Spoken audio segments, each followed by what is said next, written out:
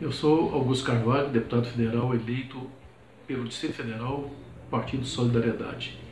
Sou autor do projeto 1466, que trata da isenção de impostos para as bicicletas, peças, acessórios, de tal maneira que nós possamos ter o estímulo da bicicleta como meio de transporte, como meio de lazer, no momento em que o Brasil também discute os problemas que são resultantes da obesidade mórbida, da, das doenças coronárias, enfim. A bicicleta, ela, além de ser um belo meio de transporte, ela também ajuda na manutenção da qualidade de vida e preserva a saúde das pessoas.